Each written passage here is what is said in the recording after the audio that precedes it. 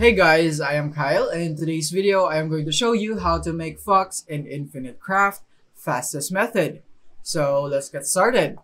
So here we are in Infinite Craft and the first thing that we'll need is water and then add it with fire and then we will add another fire into it so that we could create engine and then we'd add another engine into that to create rocket and then another engine to create spaceship. So this is what we need and now we can remove this. We'll use that later on.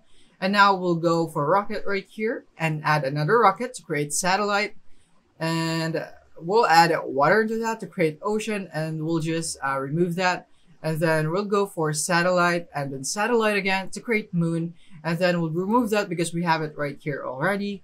And then the next thing is that we are to go for, uh, we're to go for water and then another water to create lake and then we'll put the satellite here and put the lake right here on the satellite to create Google and then another water.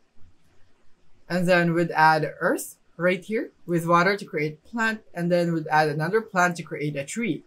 And then we'd add a fire into Google so that we would have Firefox. And then we'll just combine these two.